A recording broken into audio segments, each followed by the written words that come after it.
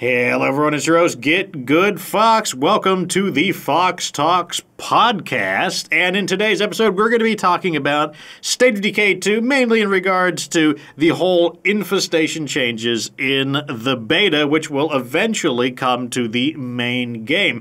In particular, I want to talk about what the problems are with the infestations, because there's definitely some problems. I also want to give solutions on how to make them better. And I also want to pitch the idea that we should probably just ditch the idea of the infestation detection mechanics. But let's go ahead and get started with subject number one. This idea that the infestations, they've got problems, and the main problem is that they're not fun. And how would I qualify that they're not fun? Well, one, there's a lot of negative feedback surrounding them, but what is the negative feedback and what do I think? Well, I happen to agree with basically all the feedback that the infestations are very aggressive, much too aggressive. What does that mean? Well, they appear way too frequently and they repopulate very, very rapidly. And what winds up happening is you go out and you destroy them, and you barely get any time to kind of do other activities until more infestations appear. And then you gotta like either drop what you're doing and destroy those infestations or continue with what you're doing and then allow the infestations a chance to reproduce. And they do it very rapidly. It does not take long for infestations to rapidly upgrade because there's diff- three different levels. There's level one, two, and three. Once they at level three, they can't upgrade anymore. And when it's time for them to choose an action, they'll just always choose to produce, uh, reproduce, to send out another assault horde, which is a specific type of horde that creates a new infestation. And it's this issue of exponential growth. One infestation becomes two, two become four, four become eight, and so forth. And that's really the first problem that people have with it. Another problem is that there's just no reward for clearing these infestations. It, basically, it feels like a chore. Like, what is the reward for doing the dishes? Well, you don't really get a reward. Your reward is that the dishes are clean. That you, your reward is that there are no dirty dishes, and that feels like what the reward is for infestations. So they appear very frequently, and the only reason you're getting rid of them is to prevent more bad things from happening. So your only reward really is just that you don't have infestations. And the two of these, they have this like unholy synergy where they make the infestations feel like a chore. Like your oh, infestations have appeared. Better go get the lawnmower and mow the lawn. Better get the weed whacker out. Or oh god, infestations. I that means I got to pull out my vacuum and start vacuuming the house. Like sure, you want a clean house, you want a nice lawn. That doesn't necessarily mean it's fun to do. So that's the first part. Is that the the infestations they're just not fun because they grief the player and they're very intrusive and they pull you away from the things that you want to do too frequently. I don't think it's a problem that the game pushes back. In fact, I think that's a good idea. But the problem is that there's not a lot of reward for beating the infestation back and then they like I said, they assert themselves on you way too frequently. So, let's talk about what I think could be done to make this problem with the infestations better. So, first up, I think Undead Labs needs to balance the infestation generation time. Now, here's the compromise I'd like to make. I actually don't think it's a problem for the infestations to rapidly repopulate once they get a grip on the map. I think that's fine. It's kind of like you got the cockroach infestation and it's just getting worse and worse and worse and worse. I don't think that part is a problem. The part that I have a problem with is that when you destroy all of them, every single infestation, they come back too quickly. Like when you destroy all of the infestations, they should just there should just be a timer that tells you know like you know it doesn't have to be a specific you know give it a little bit of a range. Maybe like 45 minutes to 60 minutes at the least. Once you've killed all the infestations you that's the amount of breathing room you have until the new the first new infestation appears. That way you would have like more a sense of permanence. Like yes the zombies are always coming back. They're always going to infest things. But at least when you destroy them especially it, it would reward you for being proactive and responsible because you know if you're keeping the boot on the proverbial throat of the infestations, you're just dropping everything you're doing, stomping the infestation out the moment it appears. Well, you'll be rewarded in the sense that, well the infestation won't appear again for quite some time. But at the same time, if there's something that's very important that you want to do right now, maybe you can leave the infestation. It grows a little bit, sure, you got to clean up a bigger mess. But once again, once you wipe out all of the infestations, it's gone. You don't have to worry about it for a little while. I think that would make a much better balance. So keep the rapid repopulation, but once you kill all of them, add a bigger cooldown for when the next new, the first infestation can appear. The next thing that I think Undead Labs has to do is make the infestation mechanic more rewarding because right now all you get is just like a little pinch of influence here and there and a little bit of standing and i don't think that's good enough because if there isn't this awesome reward for the inf basically if the infestations are adding difficulty then I, I want a reward for overcoming the difficulty. And yes some of the reward is going to be you are free of infestations. You are preventing morale loss. You are preventing incoming sieges and stuff like that. And that is nice, but I would like a reward that is more proactive, and I have a few ideas, and they revolve around your mainly around your community and your allies. So let's take it from a role playing perspective. You are just on top of these infestations and no one else is doing it. You are just going out there. You are keeping the area clear of, let's say you're on Meagher Valley and you're just wiping all those infestations out. Well, you know what? Everyone is going to be happy about that. It's not just your community that's going to like it all of the other enclaves are going to like it. So my first proposed benefit would be uh, one, more payout per infestation destroyed. So if it's a level one infestation, keep that the same. But if, if you clear a level two infestation, give us more money. If you clear a level three infestation, give us even more money. Like bigger infestation, bigger money. I think that that would immediately begin to remedy some of the issue because, you know, once you get more money, you have plenty of things to work with. You can do radio call ins, you can do trading, and it makes sense. You killed an infestation. It would make sense that the nearby enclave is like, oh my god, you took out that crazy level 3 infestation. Sure, I'll hand over one of my rucksacks because you did that. Now, you know, 175 influence is probably, that's too much even for a level, level 3 infestation.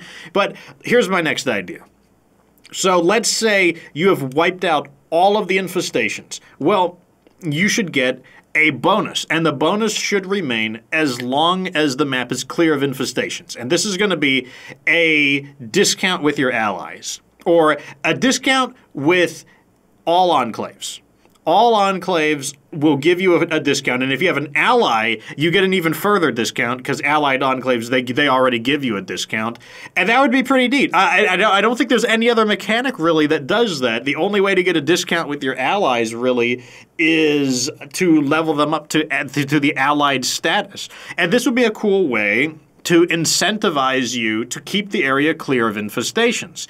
You get like a nice discount. Here's another idea. So, as long as all the infestations are gone, what if you got a percentage influence bonus, kind of like tough negotiation. Tough negotiation gives you plus 30% more influence whenever you complete a quest or kill a zombie. How about that? Once again, it would represent that people are so impressed with what you're doing that they're like, "Oh, you're that you're that crazy infestation exterminator. You're like the Orkin man. Like you're just tearing this place up." So yeah, you know, we know you. We give you more influence for the same actions. How about morale?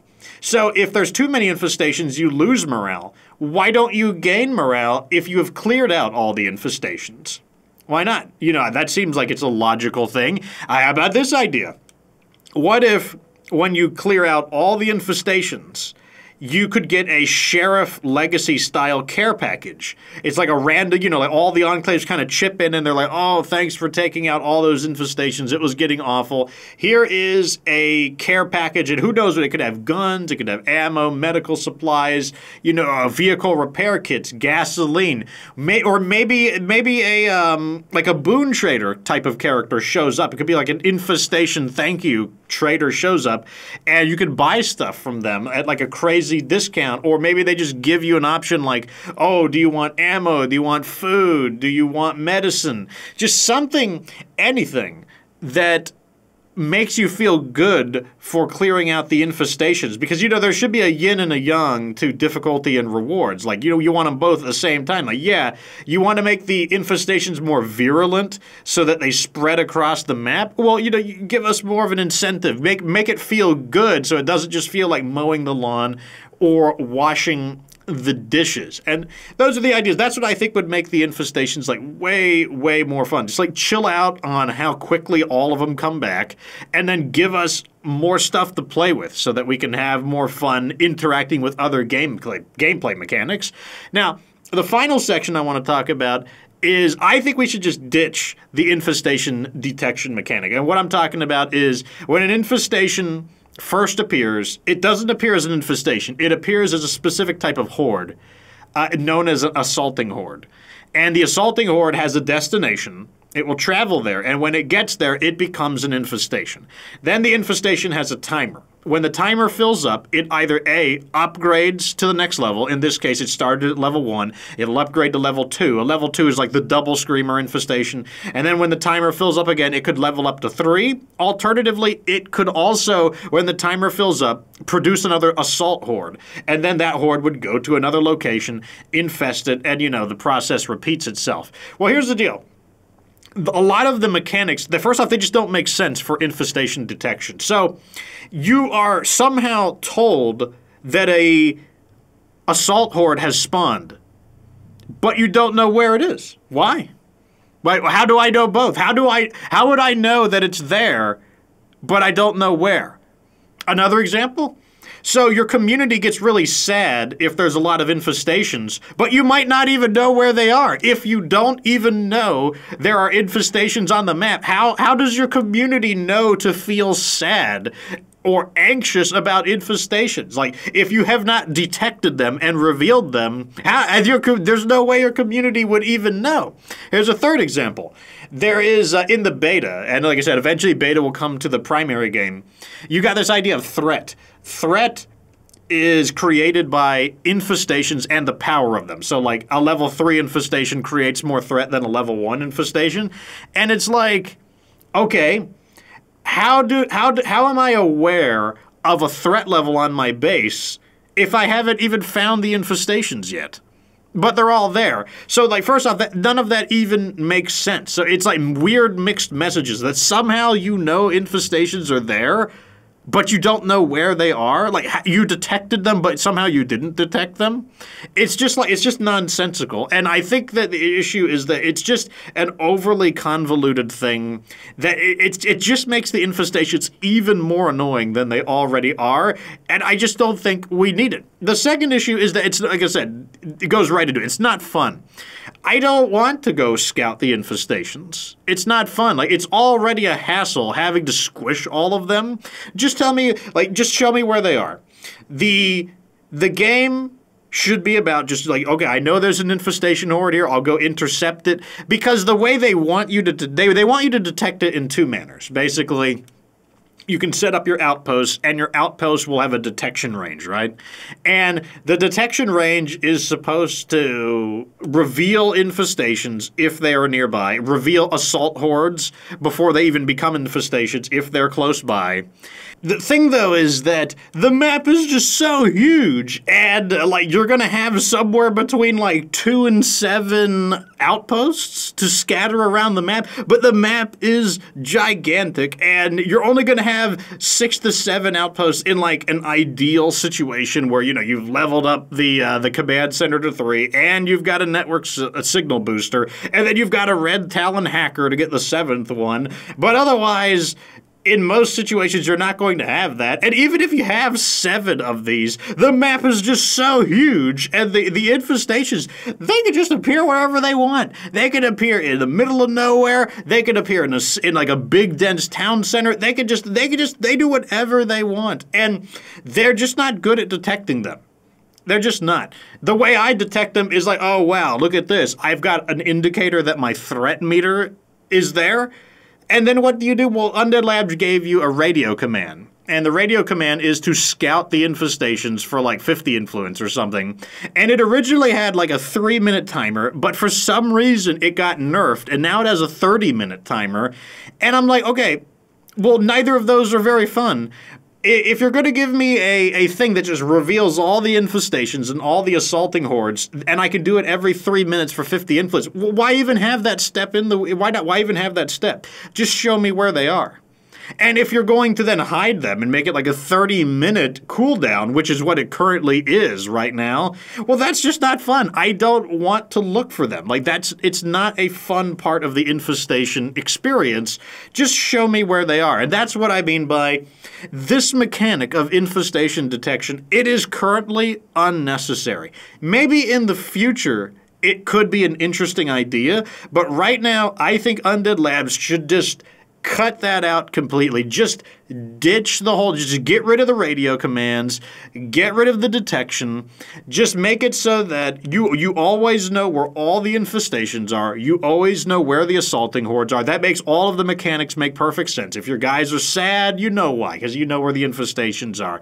Uh, you've got a threat meter. Why? Because you know where the infestations are. And you got a message like, by the way, uh, an infestation has appeared on the map or an assault horde has appeared on the map. Well, now you know because you just have permanent vision of uh, all of the, you, you just know where they are. It will make sense and it will remove a, a frankly just an element of tedium. And if the scouting mechanic could be super cool in the future, then add it. But right now, I think it's just too much. I think it's like, let's just get the infestations to be more interesting and more rewarding because that's what Undead Labs wanted. They wanted to revamp the infestations to make them more engaging. Let's just focus on that. Let's get them fun and you know like make them a threat. Like like oh man zombies are coming to get you. They're gonna spread and like boobity boobity go we're gonna get you. And then make them rewarding to destroy. Then you know in the future maybe you mess around with the idea of infestation detection but right now no no. Let's just forget about it. Let's just forget about all of that altogether. Anyways to wrap things up, overall, the feedback on the infestations is it hasn't been super great. Like, not a lot of people are happy with it. Like, they find it to be very, very tedious. A lot of people are saying, God, I, I spend more time clearing infestations than I do playing the game, and it's interfering with my gameplay. Some people are coping with it by just, they're like, it's just not worth it to clear the infestations. I'll deal with the morale penalty. I don't have fun clearing them. I'll just let them grow to a maximum of 25 and just ignore them. So the infestations, they're not fun. They're too aggressive. They need to like chill out with it. Then they need to make them more rewarding. Like people people will love the infestation mechanic. They'll find it really fun if it simultaneously is menacing you, but then you feel really good because of these awesome rewards when you squish them. As well as I think it's big big potential there. Rewards for keeping the map clear of infestations. And then finally, let's just forget about the detection system. I, I think it's too complicated. I don't think it makes it any more fun. Let's just stick on figuring out how frequently infestations should appear and how rewarded players should be. Anyways, let me know what you think down in the comment section based on your experiences with infestations. Do you find them to be too frequent, too aggravating? Did it resonate with you? When I said it's like doing chores, like mowing the lawn or washing the dishes, did you nod your head? You're like, yep, that's exactly how I feel. What do you think about getting rewards, especially the idea of new benefits for keeping the map clear of infestations? And lastly, what do you think? Again, I know some of you guys aren't on the beta, so what do you think about like having to actually find the infestations to begin with. I think it sucks. Maybe you guys think differently. Let me know what you think down in the comment section, though. Like the video if it was entertaining. Remember, you can follow me on a whole bunch of, I'm not just on YouTube. You can find me on Twitch for live State of Decay 2 gameplay. I've got a Discord community. You want to chat with me, ask me anything you want about State of Decay 2, suggest me new games, you jump on my Discord. Links are down in the description. I'm also on Twitter and Facebook if you want more notifications, because you know sometimes YouTube derps out with the notifications. Anyways, until next time, remember that you don't have to be good to get good.